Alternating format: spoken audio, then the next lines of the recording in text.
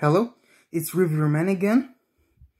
And this time I have green apple and no smoking. Or crisp and cool.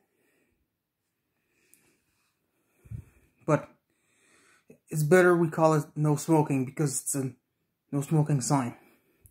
So how do the back look like? Both still have the tree display you see? So how do they smell like?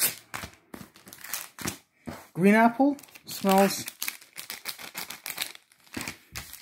exactly like, you know, green apple scent? It's literally like that. It's it's very accurate and really good. And crisp and cool or no smoking, whatever you call it.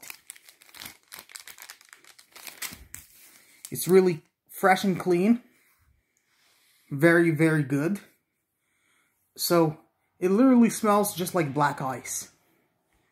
They're, both scents are super close. Maybe they might be the same scent, but I don't know. So, both are fine, and I guess that's it for the video. And until next time, peace.